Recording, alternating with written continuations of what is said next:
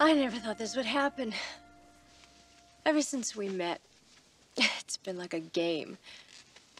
And now, finally, one of us won. Well, it wasn't exactly the Olympics. Of course, they got four years of practice. Don't rush off. You know, you told me some time ago that you'd help break up Bobby and Jenna. Nothing's happened. Now, don't tell me you made this ultimate sacrifice just to get my help. Well, this is what you wanted. Now, what about what I want? Well, we have a little problem there. I thought there were never any problems for you, J.R. Katherine, as much as I like you, and I like you a lot now, I think Bobby and Jenna are a match made in heaven. You what? Look, you promised me... I promised that if we went to bed, I'd help you. I just wanted to find out how far you're willing to go to get Bobby, that's all. Don't even dream of double-crossing me.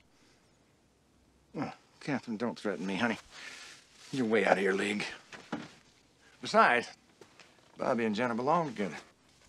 After all, he is the father of her little girl. Now, you don't know that. Not for sure. Oh, yes, I do. I've known for a long time. You see, I have a friend over in Rome that got me a copy of the birth certificate, uh, years ago, I guess. I suppose that was the purpose of you going over there, wasn't it? Oh, I wish I could have seen your face when you found out that Bobby was the father. I don't care if he is the father. I want him, and I'll get him. Hmm.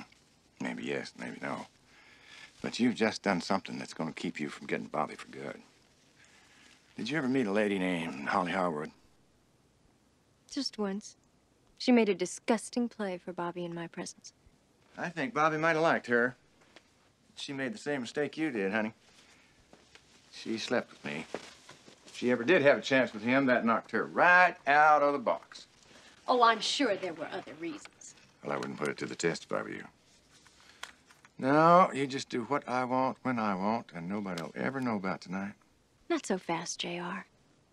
It is your word against mine. And why would Bobby possibly believe you? Oh, he might not believe me, but he will believe his own ears. He may never have heard you under these conditions, but you have a very distinctive voice, no matter what you're saying. Would you like me to play this back for you?